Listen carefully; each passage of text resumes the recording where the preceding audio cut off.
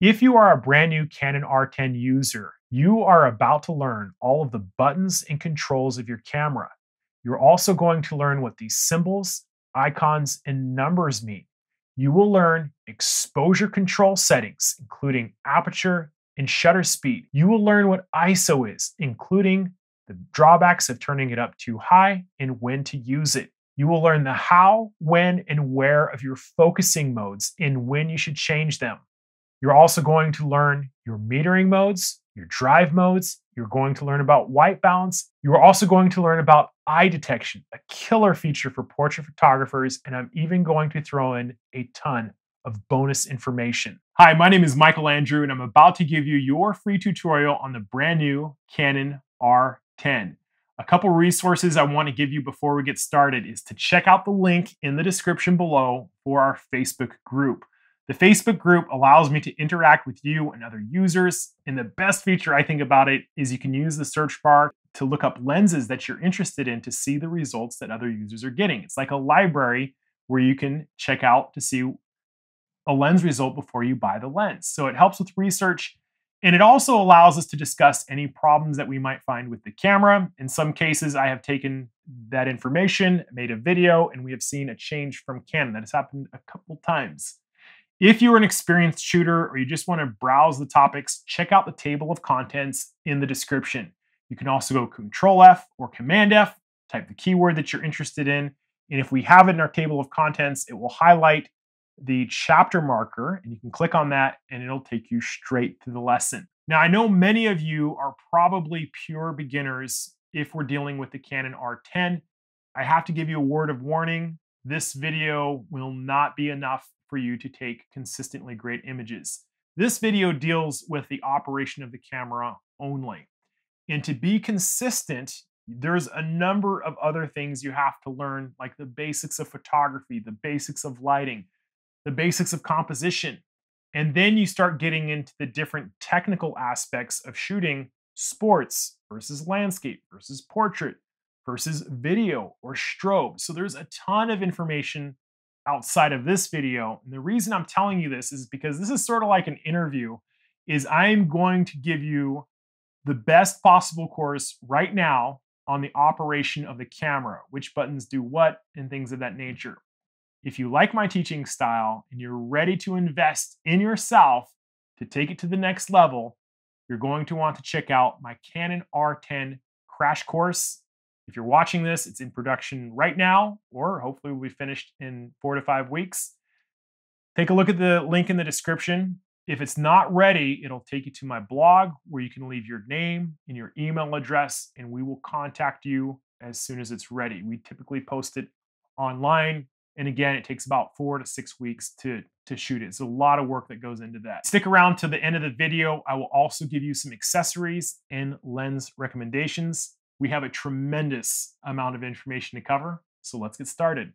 First, let me say thank you guys for coming. I am thrilled to be your instructor. And for those of you that have a little bit of experience with cameras, check out the table of contents. I know sometimes I get comments like, why are you walking us through some of these basic stuff? Some of you are pure beginners, and I build from easiest to more complex in a very particular order. There's a reason for it. So if this is moving too slow for you, just use those table of contents. So the first thing we're going to do is we're going to put a shoe on the bottom of our camera. Also want to just give you some encouragement. Just be really patient, take your time.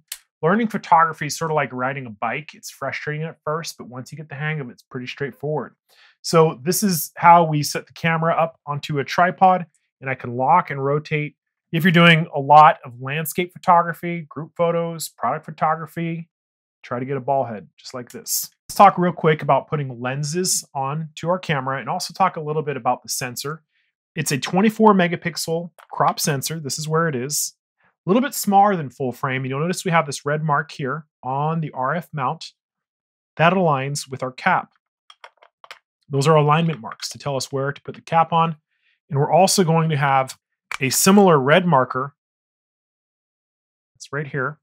So when we're putting a lens on, we're going to line up these red marks and rotate it till it clicks. To take the lens off, we're going to push and rotate in the opposite direction. Always try to give it a little wiggle when I put it on there. So this is a 50 millimeter 1.8. It's referred to as a Nifty 50. This is for the RF mount. There is an EF version that was like $100. And if you have the adapter and you have that lens, you might as well just adapt it over. But this is a native RF mount, really a great lens.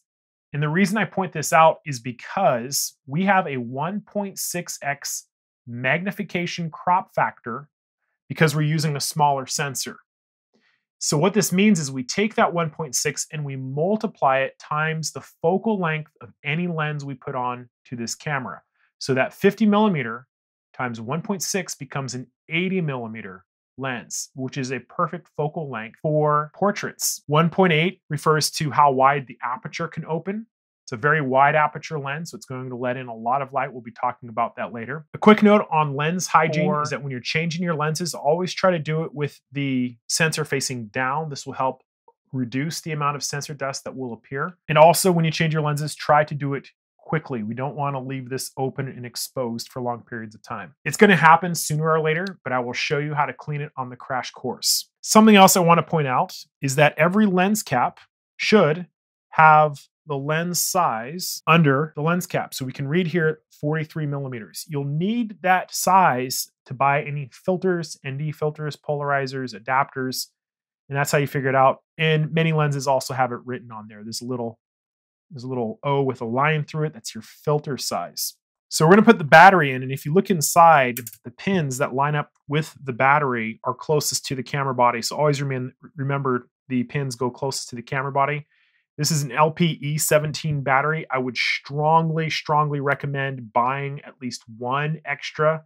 The battery capacity can run out on long shoots, something you just need to keep, keep aware of. And something else you'll notice is that we have our card slot right here. If you look right here in the bottom corner, it's kind of hard to see. We have a little outline of a memory card and it's giving us the orientation of how to put it in. We've got to cut one of these cut corners here, right? So it would go into the camera like this. You push it until it clicks. All this said, memory cards are not created equal. I have two different memory cards here. They look almost exactly the same, aside from the from the size. So if you look at the speeds of the memory card, they're completely different. And in the very, very fine print, we can see this one is a UHS class 2, and this is a UHS class 1. When we look at the back, you'll see that the UHS class 2 memory card has two rows of pins. That's how you remember UHS 2, right? And the truth of the matter is, if you're using 4K video, the minimum certification here, it's hard to see, it says U3. Class U3 is the minimum standard for 4K sustained writing speeds. So people th- think, why don't I just get a UHS class 1 card, U3? You can do that, no problem. But the difference you're really going to notice when you're using these cards is the performance of the UHS2 card. It really makes a difference if you're doing, for example, 4K 60 frames, or if you're doing sports shooting. What will happen is the buffer of the camera will fill up. You'll shoot multiple shots and, and the camera will slow down or it'll stop completely. A UHS Class 2 memory card, this one's a speed V90 is much faster of clearing the buffer. So you can get back into the shooting much quicker. This is the card that I'm recommending for you. UHS2 class card, V90, SanDisk Extreme. Spend a little bit of money. I think I spent $130 on this one. Has 128 gigabytes, literally thousands of JPEG images, no problem, hours of 4K video. And if you're on a tight budget, then you're going to go with maybe a UHS class 1 card. 64 or 128 gigabytes U3 V30. But this is the one that I recommend the SanDisk Extreme Pro UHS 2 Speed V90 and have different sizes of storage. You only got one card. And, you know, in the beginning, I used one memory card for shooting weddings.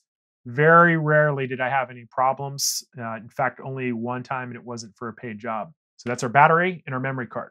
Real quickly, we're going to go over all the buttons and controls. Obviously, the shutter button super important. Something you'll notice about it is that it has two positions. There's a halfway spongy resistance that will allow the camera to focus. And when we push it down all the way, it'll take the picture. It's almost like a click. Next to the shutter button on the inside, we have a little light or a lamp here. This will flash when we're using our timer, and it will also act as our focus assist lamp in dark situations. Down here, underneath the grip where our right ring finger would rest, we have an AF, which stands for autofocus. M stands for manual. It's compatible with certain RF lenses. And in the middle of it, we have a depth of field preview button. RF lenses will often have these different switches. This one is saying focus. So if I have this switch to focus, it's going to control the focus of the ring. When it's on control, I can customize the ring to do different things like exposure compensation, ISO, white balance. We can program this in our custom dial setting. We've already talked about the lens release here. Under these rubber gaskets uh, on the left side of the camera as we hold it, we have a few important ports. This is the microphone port. If you're doing any kind of video work, you're definitely going to want to use an external microphone, and this is where we plug in. That will record the audio to the video file that's being recorded. Next to it, we have a remote port. And under the second one, we have our HDMI out, and we also have a USB C terminal. So some of you will be asking about whether or not this port will charge. Canon has a USB accessory charger. My understanding is it, it requires a certain amount of power to get this to work, or at least for it to display that it's charging, but I'm sure we'll learn more about it with time. There is a built in flash. We access it by grabbing on the sides and just pulling up. Don't pull too hard, but there it is. I don't consider this a professional flash, but if you need some fill light, it's better than nothing. And I'll definitely show you how to use this on the crash course. So on the top of the camera, we have our microphone inputs. This is a stereo input. The problem with the microphone on the camera is as the motors move the lens, as you grip it and hold it, the vibrations will transfer to the audio and you'll be able to hear it. It also doesn't really pick up sound that great. Obviously the shutter button, this guy here, I like to refer to as the primary selector. I'll talk about why I like to call it that. And back here, the thumb wheel, I like to call the secondary selector. These are very important because you'll be using them to change your exposure settings often. This guy right here, the multi-function button, will help us open some of our secondary controls and settings. The red dot button is the video record button. We have a lock button. The mode dial designate the behavior of the camera what it will change versus what we will change. And we obviously have the power switch on and off right here. Underneath the viewfinder, it's hard to see. It's a little lever that slides to the left and right. This is the diopter adjustment.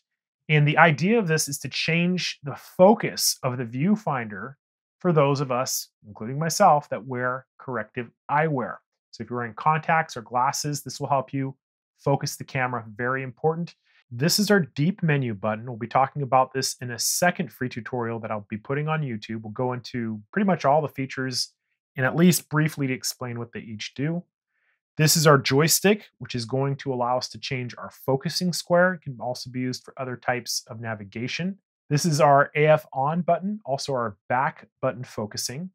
The star refers to the exposure lock or the flash exposure lock if we're using a flash. This second button is what I call the cluster selector button, which will allow us to choose different focusing squares. One of the most common questions I get from beginners is in regards to how to cycle through different screens on our back monitor.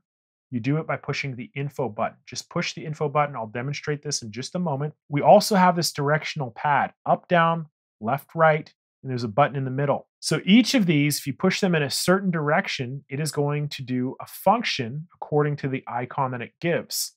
To the left, this is our drive modes. The drive mode tells the camera what to do after we push a shutter button down all the way, whether it's a single shot, multiple burst, or a timer. Up is our ISO. ISO deals with the amount of boost that we're giving to the light coming into the camera. And in dark situations, we'll increase it and in brighter situations, we'll decrease it. Talk about this a lot later. Here we have our flash mode. We have a garbage can icon. Anything in blue deals with playback. So this is the playback button, obviously. But a blue garbage can means we can delete that image when we're playing back. You'll also notice here on the side, there's this little blue magnifying glass. And that means that while we are playing images back, if you push this button, it will magnify, but you can also pinch and zoom using our fingers as we would on a smartphone. I'm gonna set up the date and time real quick. You'll see something similar to this when you first get your camera. It's pretty straightforward. If you miss it, you can also do this in the yellow tab of the deep menu. And hit OK. Tap the shutter button to come out to our main shooting. So when you play images back, you can also pinch and zoom. I think this is a, a little bit more intuitive. And if you zoom out far enough, you can see the other pictures. This was me taking pictures of the camera earlier today on this memory card.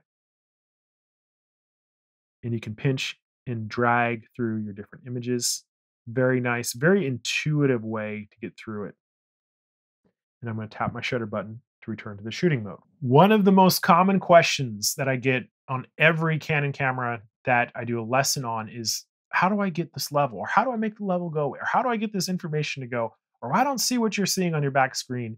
Make sure you have your camera in hand as you follow these lessons because you can you can do what I'm showing you and it'll become second nature pretty quick. The first thing I want you to do is to cycle through your information screens. Just push the info button and know that there's a number of screens. And that's how you get through them. The level's great. When you see this green, that means you're nice and even. If I were to tilt the camera down, you can see that the center marks become red because we're, we're not pointing at the, the exact horizon. And then when we get it lined up, those will turn green. And if I tilt the camera to a side, you'll see that it's not level. That's a very handy tool if you're trying to get set up for a landscape shot. The histogram is a statistical representation from dark to light it's showing us a bell curve. And I talk about this on the crash course. There's a lesson on that on how to read it. There's tons of information here on the left and the right side. Sometimes we don't want to see it. Okay, we're going to push it here. And now we don't have any information. Push it again. The infamous black screen that I'll be talking about in just a moment. Push it again. Now we get the subtle settings here the top and bottom. And then we get tons of information on the left and right. And that's how we cycle through it. Make sure you know how to do that. It should become second nature. In the top left-hand corner of the viewfinder, we have the mode that our mode dial is selected to. And I'm going to flip this over. Oh, this is another thing. See these little menus that we get when we're, we're flipping through the modes? That's designed to kind of give us a prompt and try, try to tell us what, what it is this does. So sometimes we just want to get into our shooting. And I would recommend turning this off because I'm going to tell you what these other modes do. This is called the mode guide.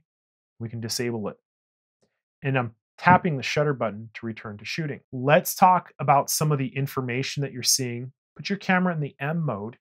In the first three settings, I really want you to focus on are going to be on the bottom of our screen, here, here, and here in the corner. You're also, if you look through the viewfinder, you'll see something similar. This is our shutter speed. Anytime you see a fraction, 1 125th, that is referring to the length of time the shutter is open. This is a measurement of how long we are letting light come into the lens and land on the sensor. When you see anything with an F, that refers to the diameter of the lens opening, how wide it is. Large F numbers are very small openings, teeny tiny. Teeny, teeny, teeny, tiny. Small F numbers are much wider. And so the wider the opening, the more light will be coming into the lens. Very important. We'll be talking about both of these a little bit later. The third setting over here is our ISO. And right now it says auto. For the sake of education, I want you to change this to something like 400 or 800 or 1600 because auto ISO is going to do a lot of work for you. And I actually think it interferes with the student learning about photography. So set this to an actual number. A lot of this is going to depend on how much light you have, depending if you're in a bright room or a dark room. But for now, let's just set it to 1600. What I also want to point out is that we have these little orange half moon icons. The one that is designated on the top refers to the front control wheel, and the one with the half moon on the bottom refers to the rear control wheel. So in the manual mode, we can change our settings using the front and rear control wheels. In this case, this will change our shutter speed. And in this case, this will change our aperture. For the sake of simplicity, I want you to flip this over to the P mode. And you'll notice that the shutter speed and the aperture disappear. If you tap the shutter button, you'll be able to see the settings again, but you'll notice that we lost this gray box. So you might be wondering, what is the gray box all about? When I flip it back to the manual mode and I touch on a gray box, it opens up a submenu that I can touch and drag the setting in to change the setting directly without using either of these control wheels. So anytime you see a gray box on your monitor, you can touch and drag that setting left or right. And you'll be seeing this often in different places. We have a focusing box to magnify it. We have this touch shutter button above this that if we want to touch on the screen and take a picture, we can. I think it's kind of annoying. Or we can disable it. So what I want you to do now is go back to your P mode so I can point out some of these other icons and numbers. This guy here is referred to as the exposure compensation bracket, and I'll be spending about 10 minutes on this later. It's very important. To the right of that, we have our ISO. ISO is critically important to controlling how bright our images are. In the top, we have the mode that we're shooting in. We're currently shooting in the P mode. And these numbers in the brackets refer to the number of shots that we can write onto our memory card. I have a pretty big memory card on there, so I can write almost 10,000 images, probably much more. The number to the right of that, in this case 39, is how many shots in our buffer in a single burst can we get with our current settings. To the right of that, this is how long we can record onto our memory card. In this case, it's two hours, which is really, really great. And this last guy over here is the Q button. The Q button will allow us to access certain secondary settings that I'll demonstrate in just a moment. If I push the info button again, we see tons of information on the left and right. Just going to go through to make sure we have everything. Again, here's our histogram. So let's go into the black screen. And I like using the black screen because the icons are a little bit easier to see. In fact, I can go back to the M mode again. These three on the top, we've already gone through. You should recognize them. What's this one right here? That's right, shutter speed. And this one, it's ex exactly right. That's our aperture. And we have our ISO here. And we have our exposure compensation bracket right here. So something you'll notice is that when we push the Q button, we also get this other interesting plus minus icon. This is flash exposure compensation. And then we get all these secondary settings on the bottom. Let's go through them one at a time. If I push the Q button and I use the directional pad to navigate, we can see that we get some information here on the bottom. Sometimes it doesn't tell us what it is. These are our picture styles. If I select it, we get all these options in here. Suffice it to say, picture styles are like recipes for JPEG. Auto and standard are going to be fine if you're just getting started. There's a portrait picture style, which is better for flesh tones. Landscapes have more vivid blues and greens. We have fine detail, which is tweaked for sharpness. We have something a little bit more neutral. We have faithful, monochrome, and some user defined settings. For beginners, keep it on auto. You'll be fine for now. After that, we have our white balance. And in most cases, auto white balance is going to be fine. I'll be talking about this a little bit later in the video. We have our white balance shift in bracket, which I would say for now, don't even worry about it. Here we have our auto light optimizer, which is going to adjust some of the contrast that we see in terms of using P, AV, or TV modes. Here we have our Wi-Fi or Bluetooth connection. This is our customized button controls. I'll have a completely different lesson on button customizations. Over here, we have our focusing clusters. When we select this, look at all the number of focusing squares we can choose from. And there is an additional tracking feature that you have to turn on with the info button.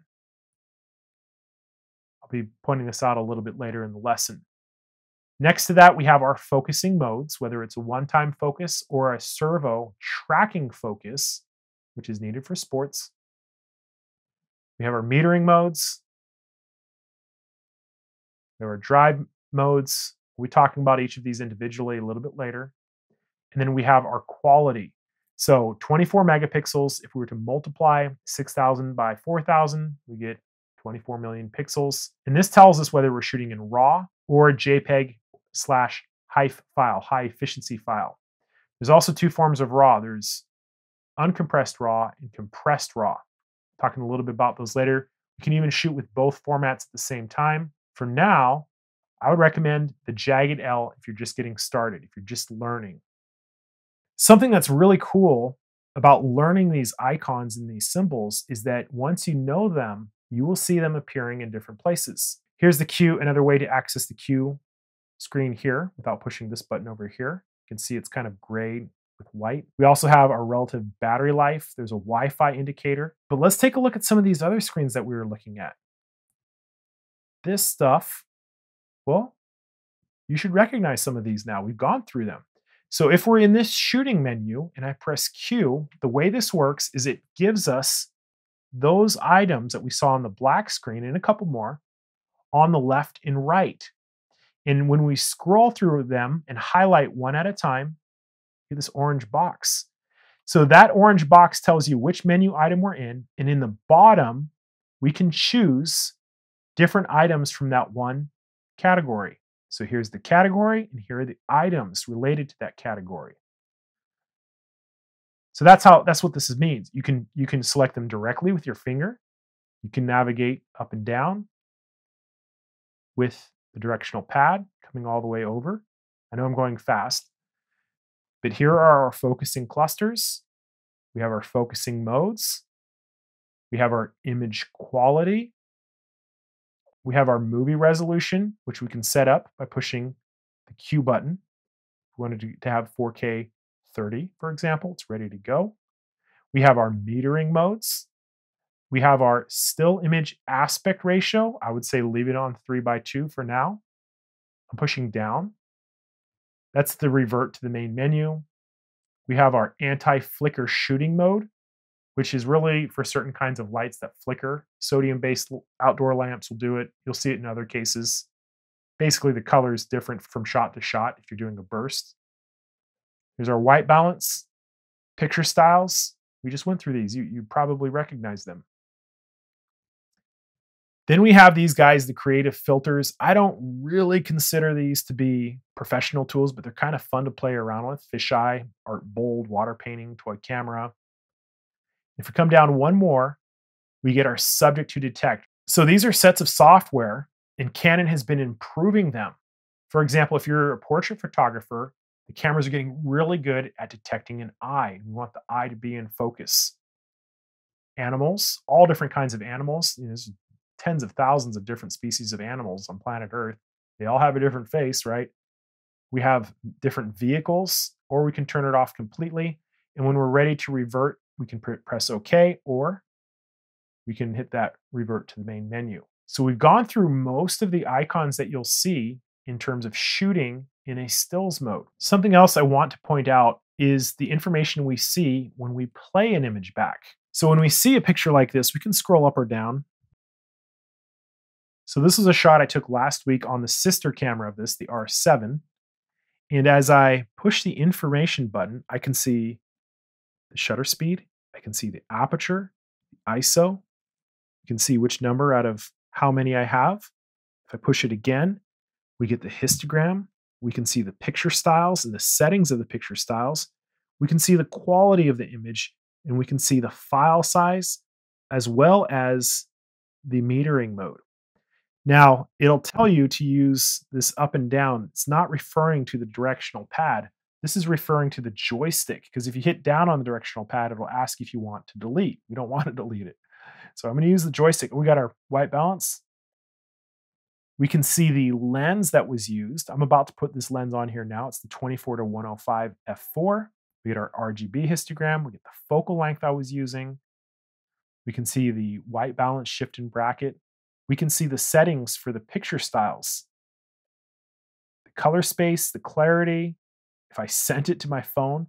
So there's a ton of information available for each image when you push the info button and you scroll up and down on the joystick. And again, I'm going to tap the shutter button to jump out to the menu. Now, having said all this, there is additional information when we go to the video mode. It's the camera icon up here on our mode dial. So I'm going to flip this over to the camera mode. And you can see that the screen changes a little bit. We lose some of the top and bottom of the screen. It chops it off into a 16 by 9 aspect ratio. Look at this. We get audio levels. So as I'm speaking, it's picking up the left and right channels on top of the camera. We have a video record button over here. A lot of these symbols are similar. This guy over here, Servo AF, tells the camera to focus continually if you see that green dot. We have the ability to change how bright or how dark the image is, but we'll talk about this in great detail on the crash course. I almost always shoot in manual for video. But these other guys here, when we push the Q button, we have our focusing squares again. They're on the bottom. We'll be talking about them later. We have our video resolution. And if we go to the setup this time, we have tons of options. Real quick, obviously 4K deals with the 4K width the number of megapixels wide. So if we come over and highlight it, we can see that it's 3,840. It's close enough to 4,000 pixels wide. So when I'm shooting for YouTube, I almost always shoot 4K, 30 frames per second. And then we have our compression. Standard IPB is a compression format that looks at the previous in the last image, figures out what's changed, and tells the camera to save space according to that. If you want 4K video with the intention to put it on YouTube, typically you're going to be right here. Some people will prefer to shoot at 24 frames per second. And something else you'll notice is we get the total record time for this memory card. I'm not a huge fan of the light IPB, but you can see that we get twice the amount of recording time. So if you're doing maybe a talking head video and you, just don't have enough space, it is an option. Here we have a crop mode, which will actually put an additional magnification factor on the lens. For now, I recommend just shooting on 4K 30. Digital zoom, I don't really play with it that much. We have digital movie image stabilization. This is something else I don't recommend unless, I mean, there's no other way around it. What this does is it measures the shake of the camera and then it'll zoom in and crop out. You're going to lose a little bit of resolution. You can also do it in post if you're in a situation where you're hand holding and you're walking and you and you just don't have a choice to stabilize it, it is an option. I personally don't use it.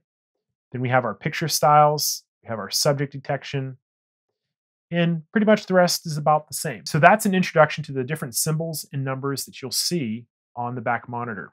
There's a couple other things I want to point out is this guy right here is an infrared switch that's designed to be a battery saver. So the idea is that when we pick the camera up to our eye, it senses something close and it turns this back monitor off. There's a number of ways to customize this if you if you want to turn it off permanently or you know if I'm if I'm shooting on a gimbal, it, it'll sometimes trigger this and I just want the back monitor working. So if that's annoying to you and you just want to, you know, do your thing, so to speak, we would come up here and we could adjust these guys so the way this works is that when you flip the monitor out, you can't really see this. I'll put it a little bit. It turns that monitor off. If we go to the second one here, then it, it works again. I know it's kind of hard to see, but it, it is over here. So this one means that once the screen's flipped out, the monitor will stay on even when you trigger the switch. Down here we have the viewfinder only, which is this little monitor inside here. If you select this, you'll have to look into this viewfinder to see to switch it back. And then finally, we have the screen, which just locks this back screen. And so if you put your hand in front of it, nothing will happen. I'm gonna, I think I'm gonna leave it on there for now. Hit OK. Let's talk about our ISO before we get into the exposure lesson. And something I want you to do is to pick a single focusing square so it doesn't cause any confusion. We'll just pick an a single point so we can see that we can move the focusing point around. So make sure that you have your camera in hand because I want to demonstrate something about ISO. So I'm in aperture and priority mode. And I just want you to watch this so you, so you understand what's going on with ISO. And I'm going to turn my ISO down. I'm on a tripod. I'm going to turn it down to like 400. So I'm going to take a single picture.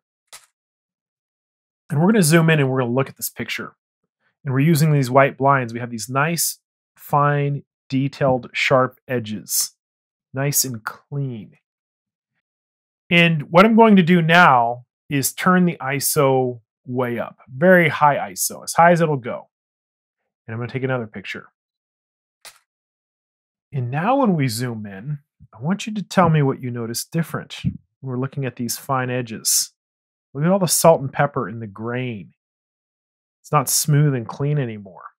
You have a ton of noise. It's like a salt and pepper look. So the way ISO works is it's an artificial boost. It's essentially, the camera's capturing pure light, which is really determined by aperture and shutter speed. And ISO is adding this boost to it. And as we go into higher ISOs, that boost creates a grain effect. Back in the day of film cameras, we used different sensitivities of film. So if we knew we were going to be shooting in a dark situation, we would have higher sensitivities of film. And if we were shooting outside on a bright sunny day, we would have lower sensitivities to light. And that's what ISO is trying to do. It's the digital equivalent of film speed. And so the idea on this is that lower ISOs are going to require more light to expose. Higher ISOs would basically be used in low light situations where it's a little bit dark. Maybe you're in inside in a gym. Then you, you're going to want to bump your uh, ISO up higher. It's not pure light, it's artificial light, and the trade off is grain. So, if we're going to get very precise about what digital ISO is, essentially it's simulating more sensitive film, but in a digital sensor, it's not sensitivity, it's adding an artificial boost something to keep in mind as you are selecting the proper ISOs. Now, we live in an amazing day and age where the ISO performance is actually pretty incredible, and you can shoot 1600, 3200 sometimes in, in decent lit situations and you won't notice it. There are situations where you'll even have an ISO of 400 or less and you'll notice grain in low light situations. And that's due to something else called shot noise. That's a completely different topic. I have a video that explains it on YouTube. So if you see grain at low ISOs, check that video out. For this next lesson, I definitely want you to have your camera in hand. I know most of you haven't done this, but we're going to come into the deep menu just to make sure that your exposure simulation is on. Red tab, page nine, you want to make sure that your display simulation is set to here, because otherwise this will not make sense let's talk about the mode dial on top of our camera. And I want you to turn it to this green A plus icon. So when we turn to the green box icon, which I call the dummy mode, it's offering to, to do these creative effects. We do not want to mess with this, and I would recommend turning this off so you don't see it next time. But there it is in the corner. Saying when you shoot in RAW or CRAW format, you can apply the effects after shooting. That's great. It's trying to walk us through the controls, and you'll notice the shutter speed, the aperture, the ISO, bracketing, our focusing box, everything's gone. This mode, the auto mode, the dummy mode, really turns your camera into a point and shoot. You don't have hardly any control of the camera, and you didn't spend the kind of money you did on this camera for the dummy mode. So as your mentor, I want you to stay away from this as much as you can. As your as your as your friend, I'm telling you, do, do not play around with the dummy mode. If you are going to do any kind of shooting where you're just nervous and you're worried about it, go to the P mode. Go to the program mode because then at least you will have some control over your focusing, your exposure compensation, your ISO, some of these other settings. But the mode that I want you to really push for as soon as you can isn't even the P mode. It's the aperture priority mode. And I always start with aperture priority mode because you can teach so many cool things about the camera in AV, aperture value mode. In the beginning of the video, I was talking about the selector button in the front, which I called the primary selector wheel. Primary because my index finger is numero uno, and my primary finger goes on the primary button, and my secondary finger, my thumb, goes on this button. So in aperture priority mode, you can see that the orange crescent mark is designating the primary selector, the front selector wheel. And what's happening is as I am changing the setting here, the aperture of the camera is setting right here. Right?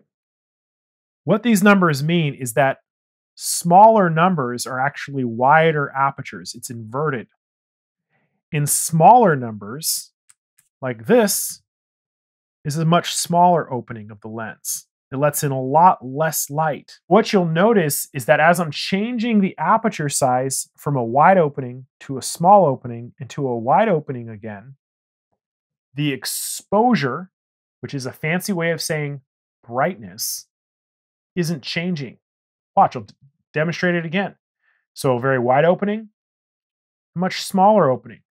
The brightness of the monitor is not changing. How is that possible if we're changing the size of the aperture? So what we can do is we can tap the shutter button and we can get a preview of the shutter speed over here. It doesn't give us a box. We can't change it directly in aperture priority mode. But what's happening is, is that as we change the aperture, the camera is changing the shutter speed automatically for us. This is the heart of the matter with aperture priority mode. We dial in the aperture and the camera selects the appropriate shutter speed for the situation we are shooting in. Now, something else I want to demonstrate, it's very important, and I want you to do this at home, is as you tap the shutter button to make sure we can still see this shutter speed, I want you to take your hand and slowly cover the lens. And what you'll notice is the camera, these little tick marks are seconds, five second exposure, four second exposure.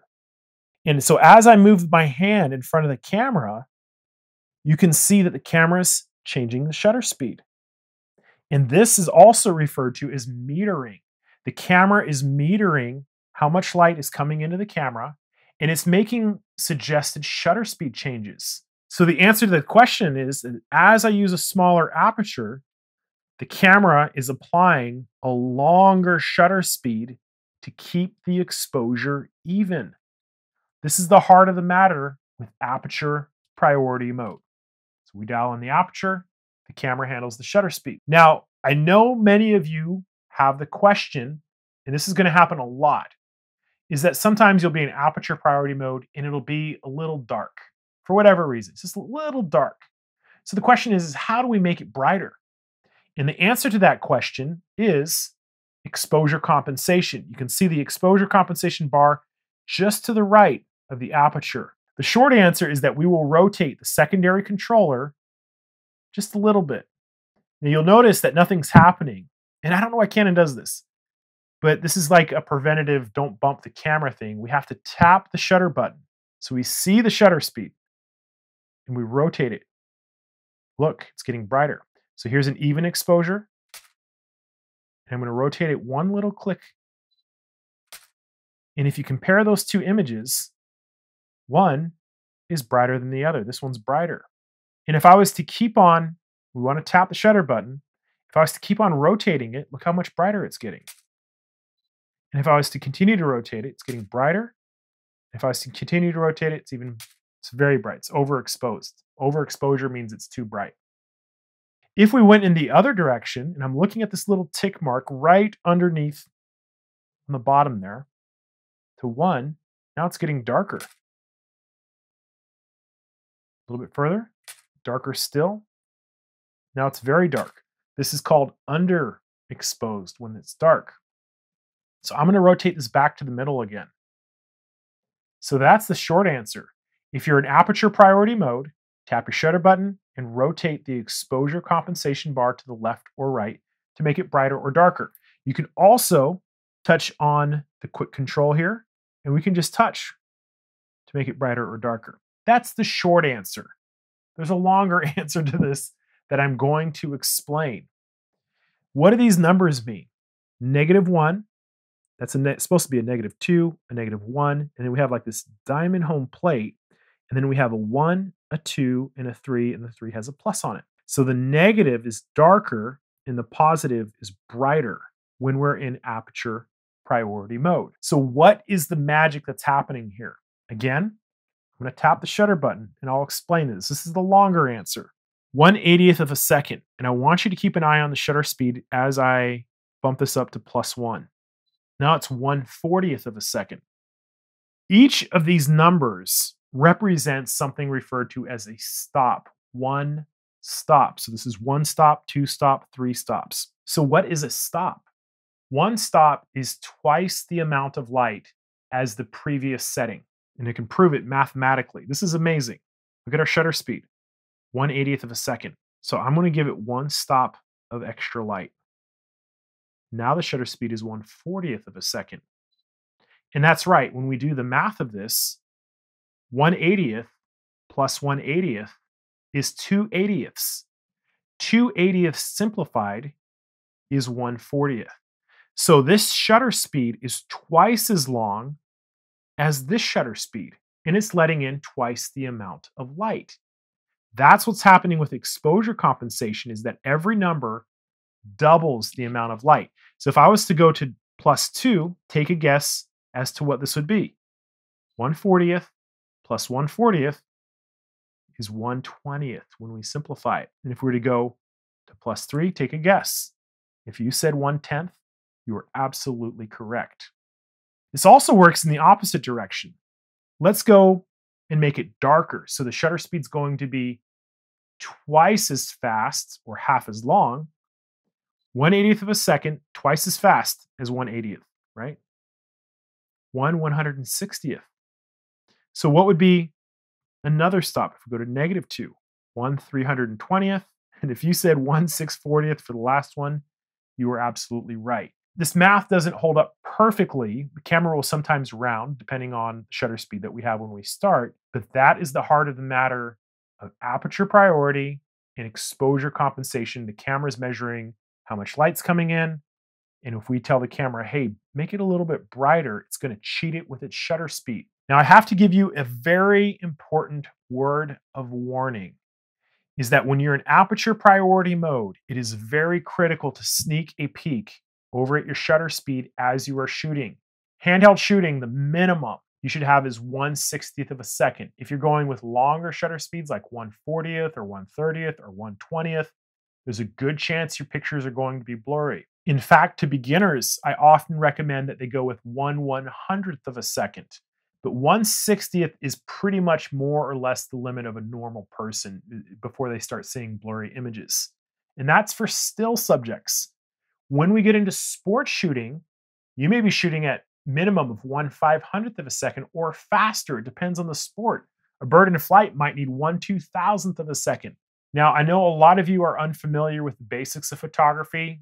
The Canon R10 crash course comes with an introductory photography course, and I will walk you through all of these terminologies, and they will be the core foundation of your photography. But if you're just getting started and you're hand holding, you want this at least to say 160th or faster.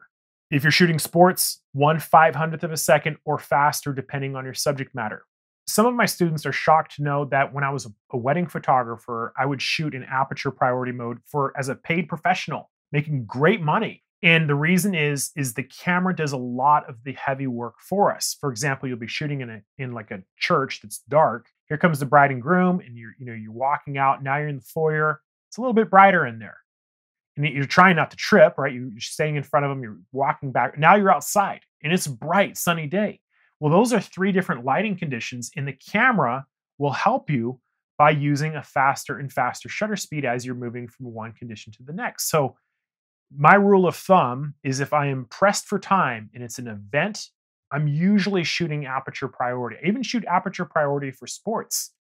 If I have time, or maybe I'm shooting in a studio with strobes, and I, ha- I can tweak my settings and refine them, I'm almost always shooting on manual. And for the most part, aperture priority and manual, probably like 95% of the time. On occasion, I will shoot in program mode if I am doing event photography with a flash, because that's the handheld mode for flash on Canon. It's kind of a different can of worms. But yeah, aperture priority in manual, 95% of the time I am on those two settings. That's why I'm really recommending that you start at aperture priority mode. Let's take a look at shutter priority, TV. It stands for time value. And you'll notice that as we switch from aperture priority to time priority, the control changes. We still get the upper orange half moon icon. In our number one, um, numero uno finger, we're going to put it that on the primary selector. And as we change the primary selector, you'll notice now is that instead of changing the aperture, this is changing the shutter speed. So our primary selector is going to change the primary setting of the mode that we're in. And if I tap the shutter button, we take a look at the aperture, we can see that the camera is making adjustments now to the aperture. This is inverted of aperture priority mode. We dial in the shutter speed, the camera handles the aperture. If we were to take our hand and move it in front of the camera, the camera is going to try to open the aperture more to let more light in. I think shutter priority mode is great when you're learning. And as an example, let's pretend you are at your child's soccer game. And Michael said, okay, one five hundredth of a second. Let's dial that in. So we can dial in the shutter speed directly. Uh oh, we got a problem here. Look how dark it is. But Michael said one five hundredth of a second, or else it's going to be blurry. He said this. I know he said this on this YouTube video, but it's too dark. And when I tap the shutter button, camera is flashing the aperture. The camera's not happy. When you see the camera flashing one of the exposure settings like this, it's complaining, saying, I cannot open the aperture wider than f4. We have reached the physical limit of the lens. That's what it's saying. So, as a photographer, if you were in this situation, what would you do? I want you to think about it for a second. We're locked in at 1 500th of a second. The lens will not open wider. If you said bump up your ISO, you are absolutely correct. And so we're going to come in and we're going to start turning this up until we can see the, about, you know, the blinds. Let's try ISO 3200. And what that is doing is it's making the sensor, it's giving it a boost as if the film was more sensitive to light. And when we tap the shutter button, no more blinking. The camera is satisfied. What it's saying is, yeah, you can shoot at 1 500th of a second, f4, ISO 3200, and it's going to be exposed evenly. That's what's going on when we are in a situation where there's not enough light and we bump up the ISO. And this is how you could resolve the situation. I'm going to turn up ISO a little bit more to demonstrate exposure compensation. So if we're at 1 500th of a second and we want to make it a little bit brighter, we could turn it one little tick mark. And by the way, the individual tick marks in here are one third stop increments. Each time we go one click, that's a third stop. But you can see that the camera is making the change to the aperture, not the shutter speed. We go in the opposite direction, same thing. And that is how exposure compensation is working in shutter priority mode. Let's take a look at program mode. Program mode is good if you're nervous and you just want to go out and start, you know, practicing your focusing. You don't want to worry about your exposure settings. Program mode is going to give us different combinations, and you'll notice that it does give us this orange crescent in the front. But the truth of the matter is sometimes you'll see some funky things going on. This isn't shutter priority mode. This is where the camera is is really going to give you different combinations of aperture and shutter speed based on your shooting environment. We can change the exposure compensation in a similar way, rotating the rear control wheel to make it brighter or darker. In program mode is sort of like you're you're taking the training wheels off a little bit from the dummy mode, right? You can change a lot of these settings. You can change your focusing mode. It's kind of nice when you're just getting started. If you're shooting events with the flash, you're going to use program mode. It's the handheld mode for flash with Canon. We can still change our ISO. We can come in and change our white balance, our drive mode, the quality. We can change a lot of things in program mode but the camera, for the most part, is going to be determining the pairs of exposure settings that we get. So there is a unique mode to Canon, the flexible priority mode, FV. And when we turn this on, you'll notice everything is set to auto. The way flexible priority works is that you determine which of your settings you want. Let's put in shutter speed, the sports example. We need one five hundredth of a second and the camera will then choose the aperture and the ISO. We could change either of these as well. So the idea on this is that you can determine which of the auto settings you want, and the camera will do the rest. I know people who love it. I don't personally use it at all. So I'm going to turn this back to auto. Try it out if you like, but I, I would still strongly suggest learning aperture priority mode and manual mode first. But I know a lot of people who love this. Let's take a look at manual mode. Manual mode is exactly what it sounds like. We dial in everything. We dial in the shutter speed with the front dial. Move that. We select the aperture with the rear dial. We can dial in the ISO. You'll notice that when I put my hand in front of the camera, nothing's being changed.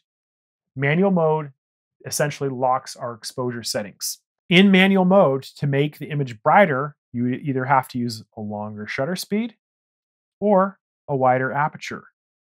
If you want to make it darker, you would have to either use a faster shutter speed or a smaller sized aperture opening. Now, something you're going to notice is that this, this bar is moving. And this is not an exposure compensation bar now. This is really a light meter, and it's giving us an estimation of the exposure. So if I was just to cover my hand, you can see it gets dark really, really quick. But it's not the same as the exposure compensation bar. And that's the heart of the matter with manual mode. We dial in the shutter speed, the aperture, and the ISO. Now, having said that, let's talk about auto ISO. I'm going to come in here and I'm going to turn this all the way over to auto.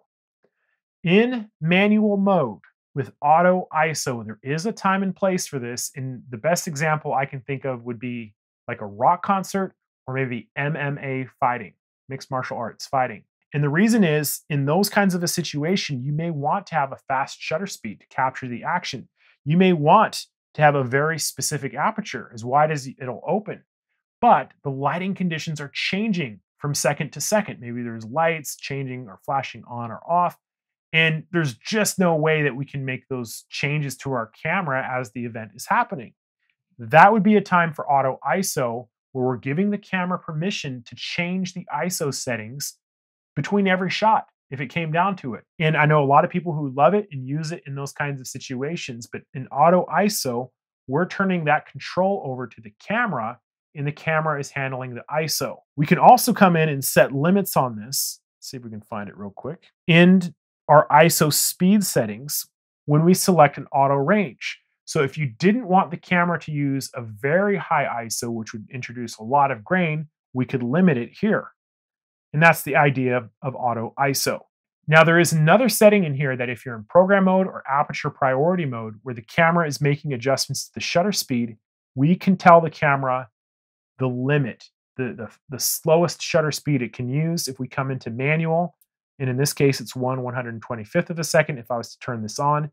So this is going to apply to program mode and aperture priority mode. When we have our auto ISO turned on, it will set the slowest shutter speed for those two modes. Going to come back out, tap the shutter button. You'll notice that we have a couple other modes on here. One of them has a B next to it.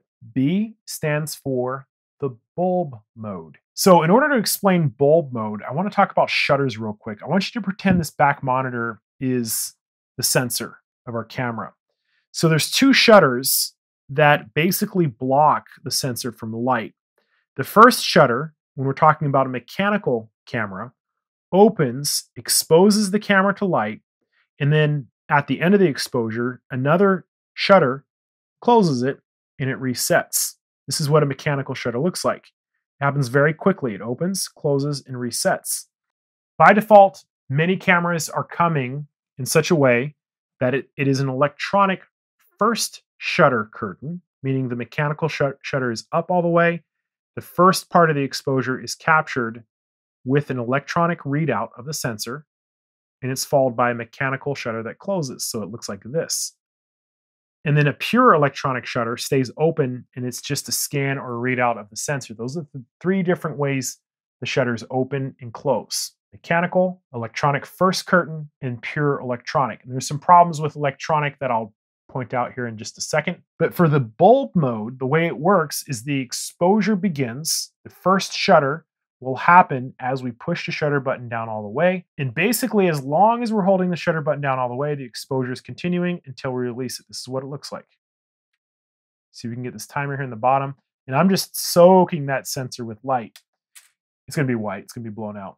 But there's a lot of cool things that you can do with bulb mode. If you go down to like Las Vegas where there's lots of lights or maybe Christmas lights, and you put your camera on bulb mode and you use a smaller aperture and you turn your ISO way down, you can get some pretty incredible results by just taking your camera and shaking it around and capturing those really bright lights. Probably too much information. But that's bulb mode and how it works. Something else you'll notice is that we have these items that say C1 and C2. The C1 and the C2 on our mode dial are customizable modes. Let's pretend you're a sports shooter and you're also a portrait photographer and you don't want to have to reset your camera up every time you do portrait or sports shooting. The idea on this is that you can set your camera up the way you like it, come into your menu, we'll come into custom mode, and we will register the settings. The camera will remember all of your camera settings and not just your which mode you're shooting in. It'll remember your menu settings, your button customizations, all kinds of things to that C1 position. This way you don't have to redial it in every time. That's what the C1 and the C2 modes are for. And I'll demonstrate this on the crash course. I have very particular settings for certain types of shooting. And if you like them, then you would save them to those positions or tweak it the way you, would like. Moving on on the mode dial, I'm going to turn it to the scene mode and just talk about some of these scenes in here real quick. The idea of the scene modes is that you tell the camera what type of shooting you're doing, and the camera will try to help you as much as possible. And I don't really recommend using these because they can all be achieved by using the camera the way it was meant to be used. This is where the camera is trying to help you. Group photos. There are, however, a couple really cool features in here, and one of them is the panoramic shot.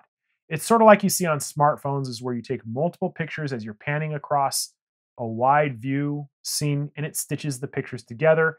And it actually works pretty good. I'm actually pretty impressed with it. That's one that's worth doing. Sport shooting, it's better to do from your main controls.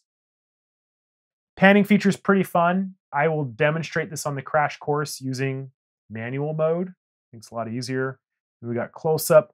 So the idea here is that the camera's trying to help you out, but you don't have much control. Like for example, let's just come into the pan panorama mode. So when we're in the panorama mode and you hit the Q button, it doesn't give us a lot of options. We have our video resolution to change and we can make it a little brighter or darker, but that's it. And that's the same with all of the scene modes If we come back in, they're pretty much more or less locking you out of the controls that you would want in terms of shutter speed, aperture. The HDR mode doesn't really work the way you want it to. It kind of looks a little bit fakey.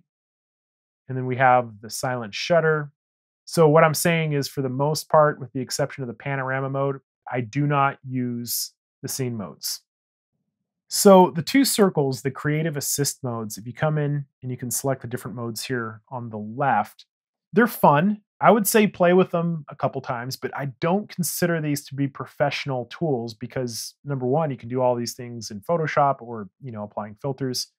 But at least you know what they are. We have some HDR shots. I'll demonstrate this on the crash course, the different HDR types of images. I don't think they look really good the way they're processed, but this is what the creative effects are. Tapping the shutter button, and then we're rotating back to these other dials.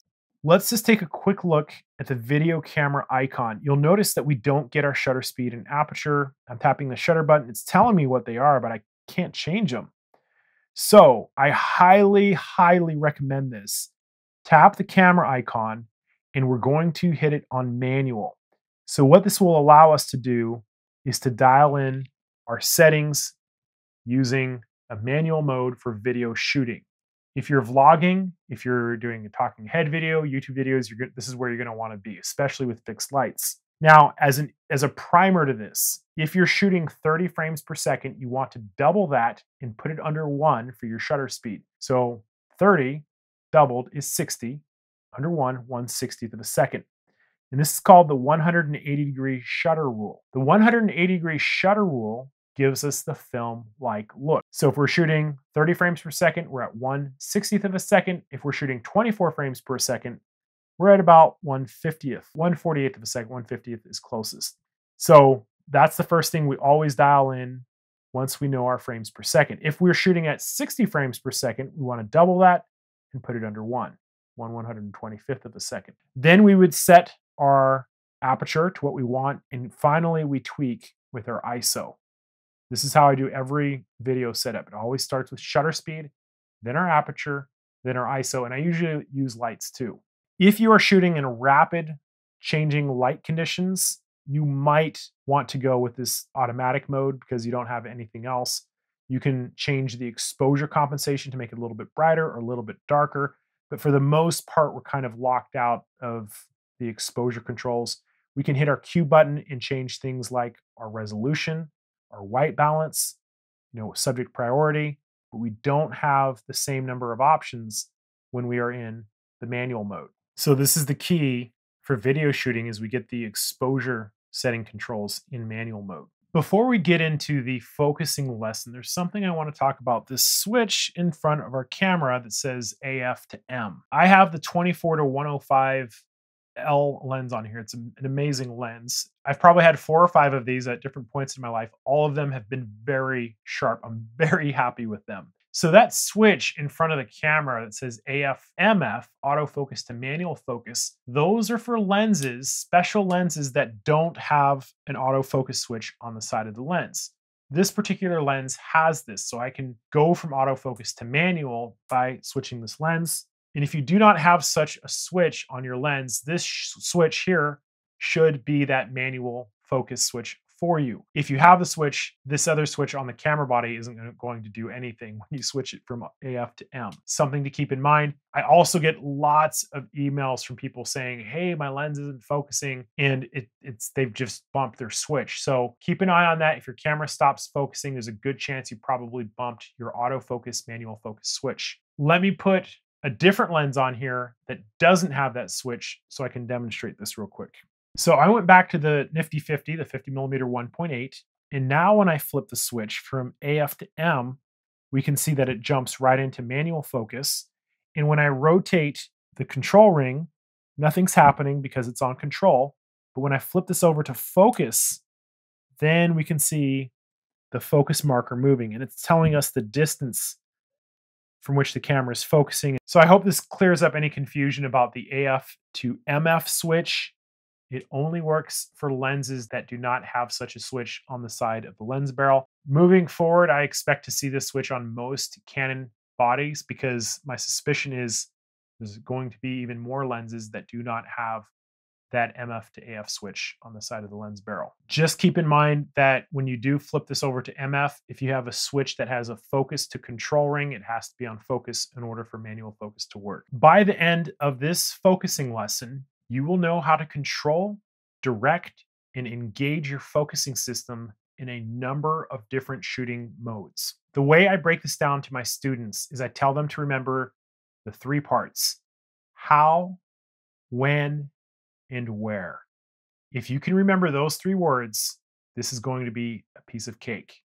So, how does the camera focus? By default, when we take it out of the box, put a battery in it, halfway shutter button depression will engage the camera's focusing systems. When we push the shutter button down all the way, it'll take a picture. In the case of the R10, we have some additional ways to focus the camera. We can also engage the AF on button. Pushing here, we get the green box. We can hear the beep. That is telling us the camera is focusing in this area right here. There's an even another way to do this by using the touch focus Again, green box, camera's beeping. So we have three different ways to focus the R10, and that is the how. Now let's talk about the when. And this deals with the camera's focusing modes. We can access the focusing modes by pressing the Q button and coming up right here where it says one shot. One shot is what I've been demonstrating so far. It means that the camera is going to focus one time and then it's going to stop. We push the shutter button halfway down, the camera gets locked and it's going to stay locked. This is also true if we were to get a focus lock and then we were to move the camera. That technique is referred to as recomposing. It's very useful when we're dealing with still subjects and we want to compose the scene a little bit differently. So when you see that red box, it means the camera is not able to lock on something. But I put a focusing target up there, we get our focusing lock, and we can rotate the camera to recompose it while we are holding that shutter button halfway down. It's a very useful technique if you're in a hurry and you just want to make it more aesthetically pleasing. That is one shot. It's a one time focus and the camera stops. As long as we're holding it halfway down, the focus will not change. It's ideal for cooperating humans or still subjects like, you know, product photography, certain types of landscape photography, that is what you're going to want to go with. However, many of us will be doing sports shooting or we have small kids that run around. And in those cases, we're going to come into AF operation, which is the AF modes, and we're going to select servo. And I want you to watch and notice the differences. As I push the shutter button halfway down, we're not getting a beep. And we're getting a blue box now. So that blue box is telling us that we're in the servo mode. And the way the servo mode works is that it refocuses the camera over and over and over again. So as I'm moving that box around, it's refocusing on the blinds. You cannot recompose in servo mode because the camera is continuing to focus. Servo mode is ideal for fast moving subjects that require tracking, birds in flight, maybe motorcycles or cars or trains, people running, sports shooting. This is all servo mode because the camera will need to update the focus. And if you are in one shot trying to shoot sports, most of your pictures are going to be blurry because the subject's going to be moving out of the frame. So that is the when, whether the camera is focusing one time or over and over and over and over again. Now, there is a third time. I've already talked about it a little bit, and that is manual mode. This is when the camera is not focusing at all. There's no autofocus, it's not helping you. We have to use the lens ring to dial the focus in, and I'll be covering some manual focusing tools at the end of this lesson. Until then, I'm going to turn this back to autofocus. So we've covered the how, we've covered the when, and now we're going to talk about the where the camera is focusing. This deals with what I call the camera's focusing squares. We can locate the clusters by coming, there's a couple ways we can locate it. You can come into your Q button and come right up here to the top left-hand corner, AF square. They call it the AF area. I like to refer to it as the clusters.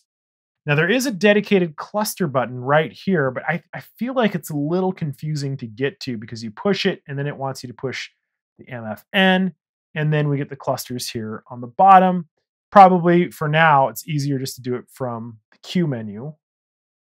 And there's even a faster way that I'll demonstrate on the crash course through button customizations, but you can see them on the bottom here. So the first focusing cluster I want to point out is Spot AF. It's simply a very small focusing square. The, the size and the shape of the square doesn't change. We're just telling the camera look in this one area for some contrast. And in this case, I have this tape. You know, it, it kind of struggles when there's no contrast. When you see that red box, that's a problem. Blue or green is where you want to be. Slightly larger focusing square. So we would put the single focusing box over an area of contrast and the camera can identify it. What I'm doing is with this joystick is I am determining the precise precision of where the camera is focusing with these clusters. You can also do it by tapping and then engaging the focusing systems.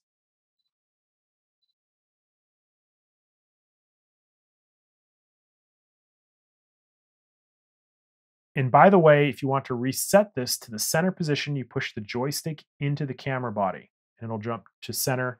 That's what that little dot is signifying in the one in the one square mode. When we come to expand area AF, now we have a number of areas that the camera can look at. And I'm going to put my finger out here. Oops. There it goes. In this particular mode, it's giving a slightly higher priority to the center with the permission to look into these other four squares. We can continue to make this larger with an expanded area autofocus. Let's come over here. See here, no problem. Same thing, it wants to give priority to that center. Just a simply a larger square. Now these next three are the flexible zone AFs. Flexible zone means that we have the ability to control the size and shape of this by pressing the cluster button again.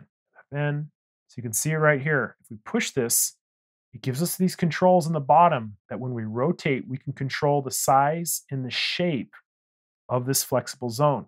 Very useful For example, if you're shooting birds in flight, you may want to be more a little bit more focused on the center of the frame horizontally. And when we have this horizontal zone set up the way we like, and we engage focusing, you'll notice that the focusing square is grabbing onto the target. We're basically telling the camera, look within that zone. So if we go somewhere else, it's looking for the area of greatest contrast within this focusing box. This is really great for birds in flight when you're shooting against, let's say, a nice clean sky, but you want to limit it to a certain area. And if you want to change it again, you would come back in, get this set up, press the cluster button, and we can control the shape of it once again. Maybe you want it to go something a little bit more square. Really nice. And we get three of those to set up. The final focusing cluster is this one on the end, whole area autofocus. It can be a little confusing because when you come out, you don't really see the focusing square anywhere. There's nothing to change because it's using the entire area. If we toggle our info button, we don't see anything. So some people will say, what's going on? But when you tap the shutter button down, you'll see in these the corners here, we get these little white lines in the corners. That's telling you you're using your whole AF.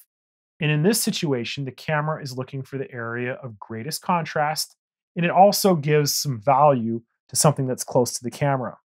It's, there's probably more contrast on the tape. Let's see if it jumps on my hand here. Nope. Oh, there it goes. So it says, hey, I see a lot of contrast here. Let's see if it'll, yeah, it's just really locked onto my hand. If I pull it away, it's back on the target. So that's the idea is it's looking at contrast and it's also weighing in the closeness, the distance. This mode would not be great if you were shooting, let's say, athletic sports, football, soccer, where you have lots of people moving around, contrast the camera wouldn't know what to focus on. Another time this will be a problem is if you have a bird that's landed in some vegetation and you have like animal eye detection on. The camera will be looking in the bush for patterns of, of facial recognition, so it can be really confusing. The focusing modes in the squares that we use are largely going to be determined by the subject matter we are shooting. And when I say subject matter, I mean how that subject matter is moving. So for every different genre of shooting, portraits, landscapes, video, those are different fundamentals in each of them. And this is why the crash course is a great investment, is because I just show you how to do it and how it changes. So that is the where, determining the focusing cluster and also choosing where we are going to place that specific cluster. Push here, press the MFN button. Um, when we come back to this single point AF, we can move the joystick around, come back to center, and so for the basic setups, that is the how, the when, and the where. Now, the R10 also has a number of awesome tools in here that I want to demonstrate real quick. Canon has a great focusing feature built in to the R10 referred to as tracking. Tracking means is that the camera is looking for a pattern that it will recognize and it will automatically follow that subject. So you don't have to do anything. So what I've demonstrated so far is how the camera looks at, at things like contrast and distance. Tracking takes us to another level. It's part of the where the camera is focusing, but it recognizes patterns. And sometimes it's a little confusing as to when it's working. I'll show you face detection in a second, but it does work in both one shot and servo. But in one shot, we see it more specifically with something like face detection. So what I'm going to do is to show you how to turn it on and how to recognize it if it's working in servo mode. So we're going to go to servo, and I'm also going to come up to our cluster mode. And when you see this AF area, right underneath it, it says info. It has a circle with some lines on it, and it says enable. When it says enable, this is telling you whether it is on or off. So when you see it say enable, that means it is enabled. And this symbol that we see in other places will also tell us that it's turned on. Let me demonstrate that by pressing the info button to cycle through our screens. So when we get to our autofocus cluster modes, we can see that circle with some lines through it. We know that tracking is active. Now let me show you what it looks like. If I put my hand and my fingers there, I'm telling the camera to try to remember this pattern. So as I move that pattern around, it should follow it. It's having a little bit of a hard time. And this is the reason why I don't emphasize this a lot is that it can be tricked. When you have a nice clean sky, you know, or, white or blue, and you have a bird flying across it, and there's a limited area of contrast, the camera might have a better time doing it. But the idea behind this is that we can teach the camera to recognize this shape or this feature and follow it around as we're shooting. Now you can see that I'm, I'm having a pretty easy time tricking it. But if you want to reset it, you would just lift your finger up and re-engage and it can refocus in it's single square again. But the, the take home message here is number one, that you do have tracking available that if you have a clean contrast, so a white sky with a single bird flying across, it's going to work better. You also have this problem of sometimes that it can be confused. It's going to come down to the subject matter that you're shooting. See, it's doing a great job of tracking this. See how it's staying locked on there as I move the camera around. It's going to depend on your subject matter, but that is the idea of general tracking if we're using servo with a focusing square.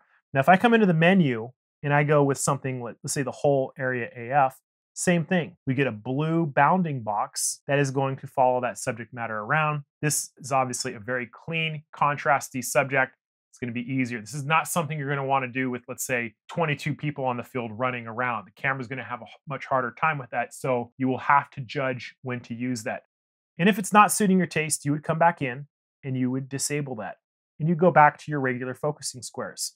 See our regular focusing squares, they're just looking for an area of contrast. We can change our clusters if I come into a square and we get back to this non-blue bounding box. So that's your introduction for tracking. Let's talk about face detection. We're lucky to have this handsome guy in here as a model. Eye detection has really revolutionized the way portrait photographers work because before eye detection was a thing, we would have to move the focusing square over the eye of our subject and, and in some cases hope that it was in target.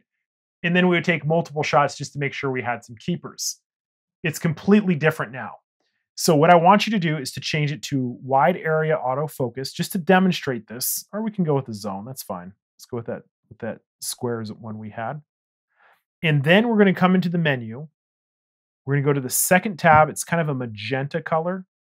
And we're going to make sure on page one, eye detection near the bottom is on enable.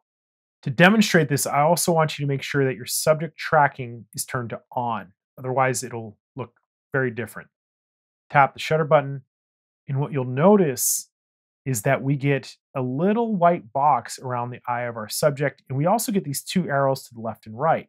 So when I push on the joystick, I can select which of the two eyes I'm focusing on push the shutter button halfway down to get my focus, push it down all the way to take a picture. When I am shooting cooperating people, I'm very often in one shot. And that's what it looks and feels like. Eye detection has been a game changer because it has eliminated the need to get precise focusing lock through DSLR cameras. Eye detection works almost edge to edge of the frame, so we don't need to recompose. All we need to do is to engage the focusing systems and take the picture, and we get a higher number of keepers. So this has been absolutely amazing for portrait and wedding photographers. It's been great. I did in the the accuracy. I am so impressed with it. Is that in the past you had to have a certain size of the face for it to work. Now the faces are pretty small. I mean, you can get pretty far away and you can still get at least face detection. So definitely be aware of what this is and how to use it I typically set it up on my custom buttons where the star button is. So I just engage eye detection, boom, and I'm there and I don't need to fumble through all these settings. If you come into the menu and you turn off subject tracking and then you engage, you'll notice you get this grid pattern. It's where it's kind of looking at the face. So it's not really tracking the eye so much. It's recognizing a facial pattern. But I, I think this is far more, I don't know, convincing and more confident when we see that box on the eye and we get it. So that's the difference between using eye detection with and without tracking. Eye detection is fabulous. Now, having said that, probably the second most common question I get is how come people are not getting 100% keepers with eye detection. You will not get 100% keepers with eye detection. It's good, it's not perfect. And the funny thing about this is, or the interesting thing about this, is that we can come in and tell it to detect animals. So when we're shooting animal faces, you'll notice it'll still recognize humans. There are lots of different kinds of animals, and their faces and their shapes are all very different and the algorithms are not perfect. So if you're getting 70 to 90% keepers, even 60 to 90% keepers on your eye detection with animals, that's really, really good. Don't be upset if you're not getting 100% keepers. Sometimes people say, Well, I had a bird in flight and I had face detection. I'm like, Yeah, that's not how it works because the shapes of faces of birds are very different and when it's moving fast. So don't have that high of an expectation for it but you can even come in and, and tell the camera to detect vehicles things like cars and trains and, and, things of that nature or we can turn it off altogether when we turn it off let's see what happens again we go back to this pattern recognition right so yeah face detection eye detection with tracking amazing let's make sure the info's on it's a really really great powerful tool Let's talk about some of the manual focusing tools. I'm going to flip the autofocus switch to manual on the lens. And as soon as I do that, you can see I get a distance marker. So if I had a tape measure from the sensor mark, which is found here on the side of the camera, to our subject, we could measure the distance in meters. We can change this to be feet if we wanted to in the orange tab, I believe. Or we could just look at the screen and kind of eyeball it and try to get this right. But that's not what I do. When I'm dialing a manual focus, I use one of these following tools. You'll notice we have this magnifying glass. And I can zoom in to 10 times and I can move the zoom in around with the joystick, right? Then I can dial in the focusing ring and I can get a very precise focusing lock right there. I do this a lot for video shooting where I want to get very, very precise focusing, and then I can zoom out, hit record. We do this a lot as videographers and filmmakers because we don't want the camera breathing, shifting the focus, you know, randomly when things enter or exit the frame. So a lot of video shooting is done in manual. If you're a talking head or you're making a YouTube video, it does make sense to use eye or face detection, but we'll talk about that in a second when we talk about video. There are some other tools in here for manual focusing. Coming into the deep menu, page, see here, five, manual peaking settings. I'm going to turn this on to demonstrate just what this is. And so you can see it. We get this red overlay. I'm going to hit info to make this stuff disappear. And you'll notice that as I change the focusing ring and we get sharp lines of contrast, we get this red outline.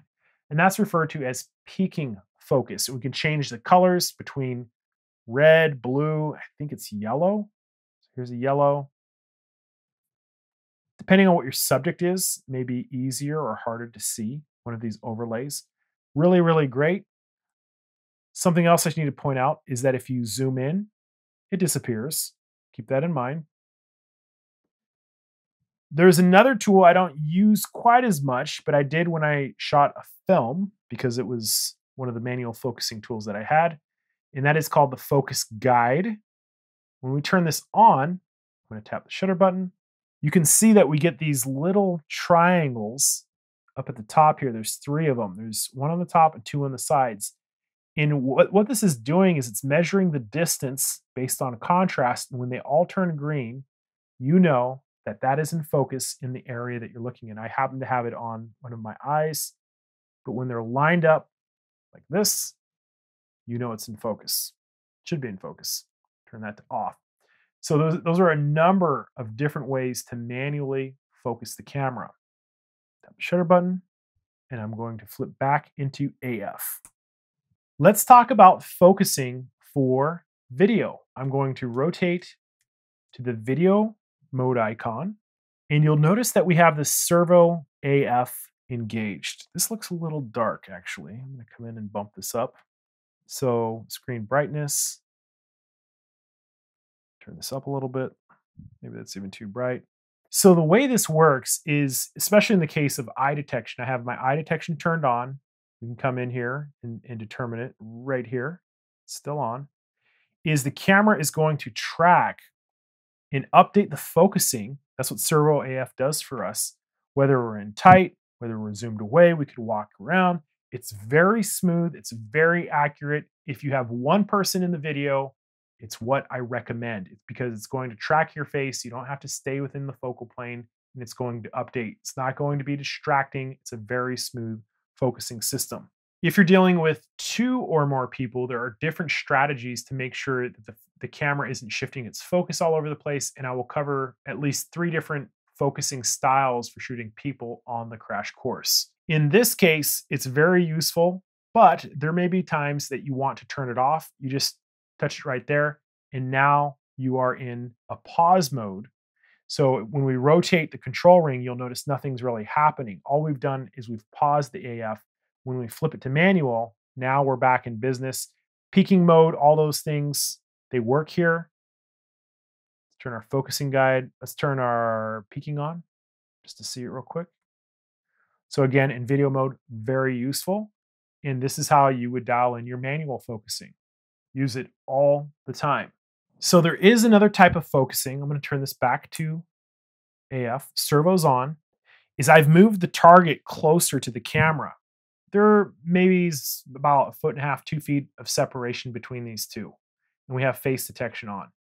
In this case, if I wanted to shift the focus from one subject matter to another, and I demonstrate this extensively, I'm going to turn that off and I'm going to pick a single focusing square up here, there, so I have a single focusing point.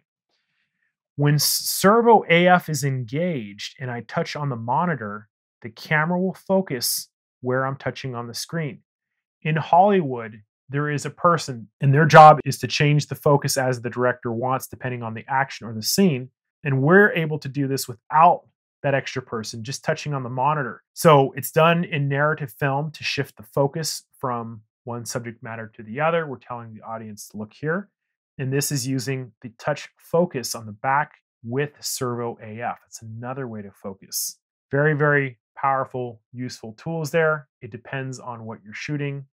The strategies of your focusing depend on what your goals are, where you want to direct attention, where you want the camera to look. So that is the how, the when, and the where the focusing, as well as specific strategies and features for both stills and video on the R10. Let's talk about the drive modes. The drive modes are located here by pushing to the left on our directional pad. And as soon as we do that, they're listed here on the top. We have a number of modes. Single shooting is exactly what it sounds like. You get one shot. So if we have single shooting, it's like that. So these high speed bursts are going to depend if we're using mechanical.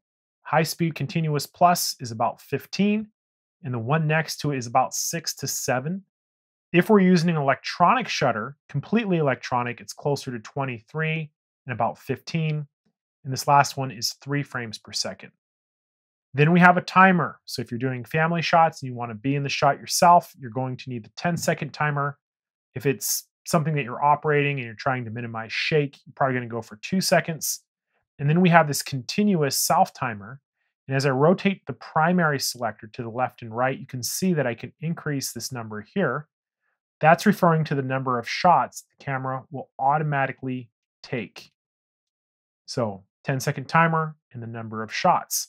And that, ladies and gentlemen, are our drive modes. It's what the camera does after we push the shutter button down all the way. And for these burst modes, you have to hold the shutter button down for the continuous burst to happen. Also, keep in mind that we will be limited by the buffer, which is typically indicated right next to it. So if we do a high speed burst and I'm holding the shutter button down, you can see that buffer clear very quickly because I have a very fast memory card. Let's talk about our white balance real quick. Now, the gist of this is if you are a pure beginner, plain AWB, auto white balance, is going to be fine for now. But what will happen is you'll go out and you'll be shooting and you'll notice the color of your images are going to be a little bit off. Maybe they're blue or they're yellow or maybe even purple in some cases. And what's happening is is that different light sources produce different color tones. Our eyes very good at adjusting to it camera sensors are not so great. So these symbols that we're seeing here on the bottom for white balance, it's basically asking that we match this icon with whatever environment we're shooting in. So if it's outside on a bright sunny day, you would choose this the sun icon. If we were in the shade, we would pick the shade icon. Or if it was cloudy, we'd pick the cloud and so on. Tungsten light is like a regular light bulb. We have white fluorescent lights. We have flash. We have custom light balance. And we also have the Kelvin. So the short answer on this is that if you're shooting and you see these inconsistent color images, it's probably because your white balance isn't set correctly. There's actually a couple ways to manage this, but if you're an intermediate shooter, I would say match the icon to the situation you're shooting in. If you get into a situation where you're doing mixed light, you would set a custom white balance. And it says menu to shoot white balance set. So I press that button and you can see this little custom icon here, just to the corner of it. I'm going to take a picture of these white blinds. And I'm telling the camera, this is what's white. I would do this a lot in weddings where, where we're shooting, you know, three different light sources, you know, where fluorescent, tungsten, and strobe lights are going off, right? So this would tell the camera that I am shooting in a mixed lighting situation and I want it selected to that custom icon. There's another way we can tweak this using Kelvin temperature. So when you select the Kelvin and you go to set color temperature, you'll notice that we get these Kelvin settings left and right. And this is part of the deeper answer is that Kelvin is a measure of temperature. In very low temperature Kelvin lights have a very yellow appearance. Think of like a candle light. Candle Candlelight's very orange appearing. So when we turn it down to, let's say, 2600, which is in the ballpark of candlelight, you can notice the camera is really cranking out this blue look. So what's happening is the camera is adding blue to what it expects a yellow environment to be. And that's what's happening with white balance. It's the camera is adding these colors to make the light appear white. Now, let's say you had a bunch of blue blowtorches, which are much hotter than candles, right? You're in a I don't know, some sort of warehouse, and you have a thousand blue blow torches. Well, it's going to be very blue in there. And those are very hot. So if we were to set the camera hypothetically to the blue blowtorch color, it's going to add in a bunch of orange to balance it out. And that's what's happening with white balance. So this Kelvin setting, as part of the longer answer, allows us to dial in the specific color temperature, and I know the lights I'm using are about 5000, 5100, it allows us to dial in specifically the Kelvin temperature of the bulbs we're using. Now, there's another hidden feature in there that I don't recommend changing. It's the white balance shift and bracketing. Here it is. So we can tweak the color in any direction of blue, green, amber, magenta, the vast majority of the time, especially on Canon cameras, I've never used this, not once. We can even bracket those images by rotating the rear control wheel, and we can take multiple images with different color shifts. I wouldn't recommend this. So if you're just getting started, auto white balance. If you notice the colors are shifting and you're shooting stills, now you're going to start dialing in your icons. If it is an important shoot, shoot in RAW because RAW will allow you to process and recover a lot of these tweak files. There's a lot more information in RAW files, but I will give you a word of warning. Video is a form of JPEG. So if we're doing high-end video work, we don't have raw video in the camera. It's a JPEG video. It's more critical to get the color balance correctly when you're shooting video. Again, if you're just getting started, auto white balance is going to be fine. As you get more serious on every video shoot, you will either do custom white balance or you do a Kelvin white balance. Let's talk about our camera's metering modes. Metering is how the camera figures out what shutter speed to give us in aperture priority mode. This is how light is measured as it is coming in to the lens. Now, something you'll notice is that as I'm moving the camera around, it doesn't really change the, the shutter speed so much. But if I come in to the metering modes here, and I pick spot metering mode, watch what happens here. We get this little circle. If I tap the shutter button over here, it's giving me a recommended shutter speed of 1 125 of a second. And as I, I move this circle over, watch what happens. Oh my goodness. The camera is saying we need a super fast shutter speed. In fact, so fast that we can't even manage it. Faster than 1 4,000th of a second. So what's happening as I move this circle around? What's happening is we have defined a region that we're telling the camera to measure a light in. And I have this headlamp over here. So what it's, what's happening is it's only measuring light from this little area. Even if I, if I put my hand in front of it, I'm able to trick the camera into using different shutter speeds. And then when we go over a very, very bright light, the camera is saying, this is way too bright. We need a super fast shutter speed, or maybe you need to turn your ISO down or something of that nature. So what's mm. happening with metering modes is they are specific patterns that measure the amount of light coming into the camera. And in the case of spot metering mode, it's a very tight circle. If I come in and I can choose something like center weighted, it's a slightly larger area over here, it's 1 125th. We don't get the circle anymore, but as I get closer, it'll start recommending a faster shutter speed as I get closer and closer to the middle. It gives more weight to the center. Some of the other patterns include partial metering mode. We select this. It's kind of the same thing. We get a bigger circle. See that? And the last one is kind of like the all purpose evaluative metering mode where it breaks the scene up into different parts. And you can see it's much more tolerant. It's measuring a little here, it's measuring a little here and here. So, the advice that I would give you is if you are a pure beginner, start off on the evaluative metering mode. If you're shooting something that's heavily backlit, go for partial or spot metering mode. Those are good places to start. Let me give you some lens and accessory recommendations. One of the first accessories you're going to want to invest in is a tripod. I tell all of my students try to stay away from the cheapy $50 Walmart tripods. It will work. The problem is is that over time of opening and closing it, it will break down and I've ruined those within 5 months of getting them. Spend a little extra money, anywhere from 130 to $300 and invest in a good carbon fiber tripod, something that's sturdy, something that's tough, something that will last you for the life of shooting. I invest four or five hundred dollars per set of just the legs, just the carbon fiber legs.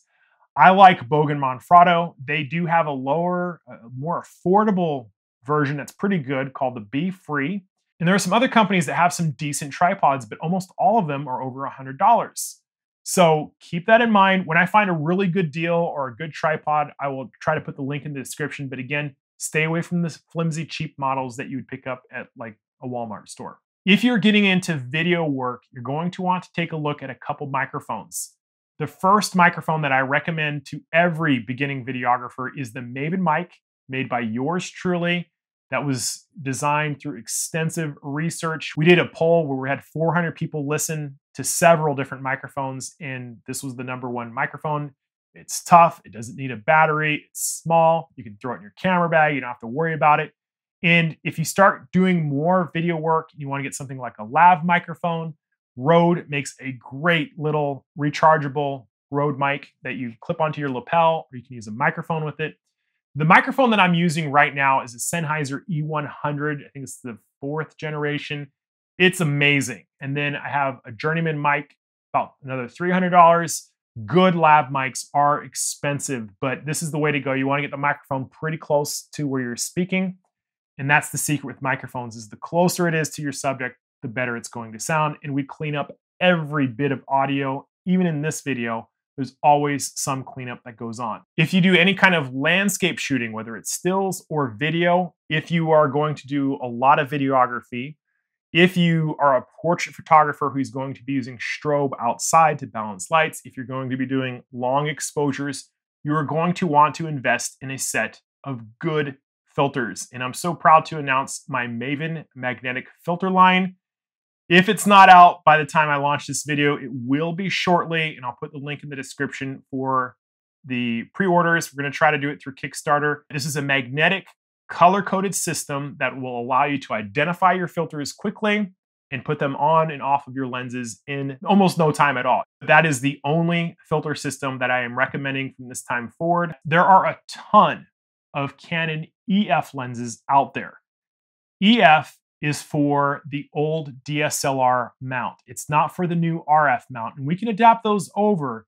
But I think most of you are probably going to be looking at RF lenses. It seems the trend is Canon is going more and more towards the RF mount, which is the mirrorless mount. And we're hearing discontinuations about so many EF lenses. So if you're going to be buying a brand new lens, probably recommend that you stick with the RF. The native focusing is going to be a little bit better in almost every case, and those lenses are also going to be designed to be very sharp because they were designed to be used with the R7, which has a very tight megapixel density. That's a whole different story. So I'm pointing most users towards the RF.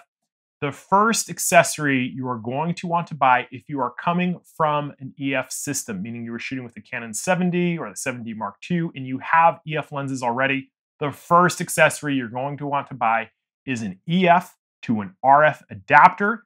The last time I checked, they're in pretty good supply. They're $100 for the most basic one, and there's one with a control ring and also a drop in filter adapter. I like the basic one and the one with the control ring.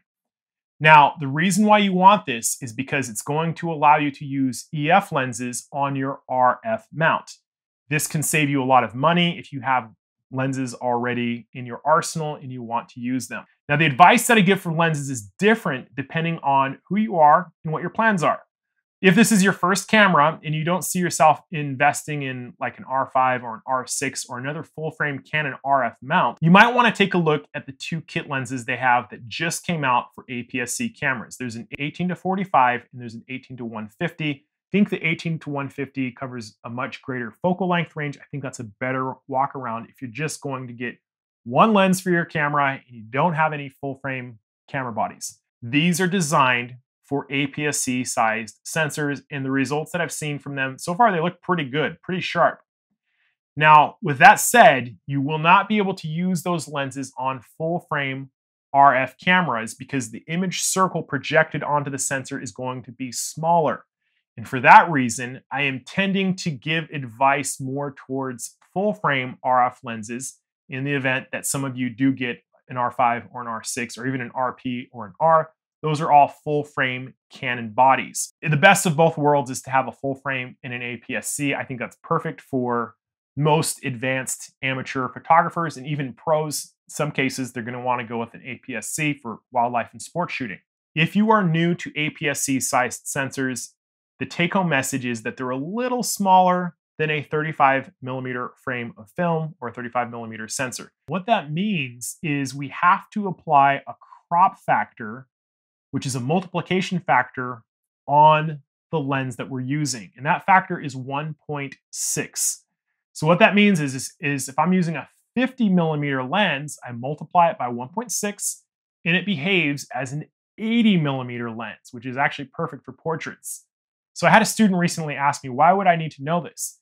And the reason is it's going to allow you to plan which lenses will give you which results on your camera.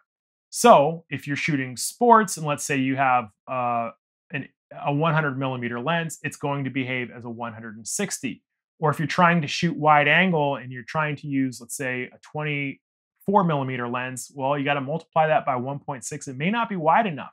So, having said all that, let me give you a couple lens recommendations, starting with those who are on a budget. I really like the 50 millimeter 1.8 from Canon. It's fairly new. It's a wide aperture lens. When you put it on, it is going to behave as an 80 millimeter lens, which is going to be perfect for shooting portraits. If you're looking for something a little bit more wide, Canon has a fairly new 16 millimeter 2.8. It's going to behave more like a 26 millimeter, but it's still fairly wide. $300. It'll work on both full frame as well as APS-C. If you're looking for a general walk around lens that works on both full frame and APS-C, there is a 24 to 105 kit lens. But if you have a little bit of money to invest, say just over a $1,000, I love the 24 to 105 f4. That is an amazing lens. I have used multiple copies of it and it has always been super sharp and amazing. If you're going to be doing sports shooting, wildlife shooting, rapid, you know, whatever kind of fast motion shooting you're doing, and you're looking for a budget zoom lens, highly recommend the 100 to 400 RF. It's a fairly new lens. I own it, I use it. It's not the sharpest lens out there, but bang for your buck, it is more than enough. So I think that's a really good place to start because the 100 to 500 RF is a very expensive lens that's very high end. It is awesome if you're if you're going to be doing heavy shooting again designed for full frame cameras but the quality of the glass and the resolution and the sharpness it's going to be better than on some of these lower end lenses. That's just i'm not ripping on anybody's lenses i'm just giving you the truth. Some other lenses that i would recommend if you have an unlimited budget is the 70 to 200 2.8 rf i own it i use it i love it it's amazing. There's also a 24 to 70 2.8 rf and there is also an amazing 28 to 70 f2 it's a huge piece of glass. It's $3,000. They're very hard to find. It's one of the most amazing zoom lenses I've ever seen. Having said all that, just check out the Facebook group before you purchase a lens. Get some feedback from some other users. How do they like it? If you've enjoyed this tutorial and my teaching style and you want to invest in yourself to take this to the next level, check out my Canon R10 crash course. I will put that link in the description. If it's not yet ready, it'll take you to my blog where you can leave your name and your email address, and we will reach out to you as soon as it's finished. Thank you so much for sticking with me through this tutorial on the Canon R10. Have a great day, and I can't wait to see you in our Facebook group.